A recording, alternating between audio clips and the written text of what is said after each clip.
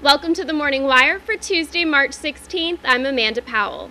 Pay by the Day is buying Grail Semiconductor. They've entered a non binding letter of intent to acquire all of the assets along with Grail's exclusive rights to a number of cutting edge, independent, and innovative technologies that combine cutting edge science and natural medicine. However, these acquisitions are subject to due diligence. Pay by the Day trades on the bulletin boards as PBDH. Cyber Defender Corporation announces strong fourth quarter results. The provider of award winning PC security software says their growth in GAAP revenue jumped an outstanding 205% to 7.5 million. They made 2.5 million in the same quarter of 2008.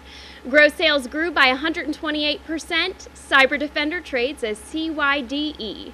Urban Barn Foods is rolling in the dough. 250,000 units were sold at 80 cents apiece to complete the deal worth $200,000. Unit consists of one of each common share in the company and one non-transferable warrant to purchase one common share.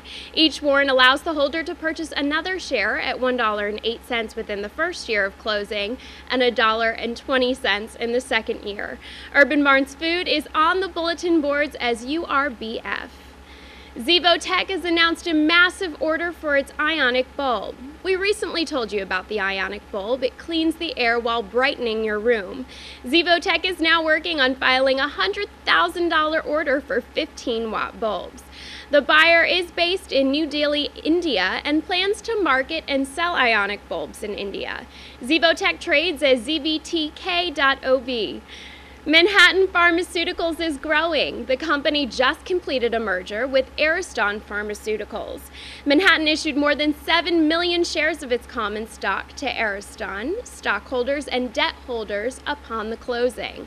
Manhattan could issue up to another 24 million shares upon completion of certain development milestones. They're on the bulletin boards under MHAN. And that's the Morning Wire. We'll continue bringing you the latest small cap news all day long on publicwire.com.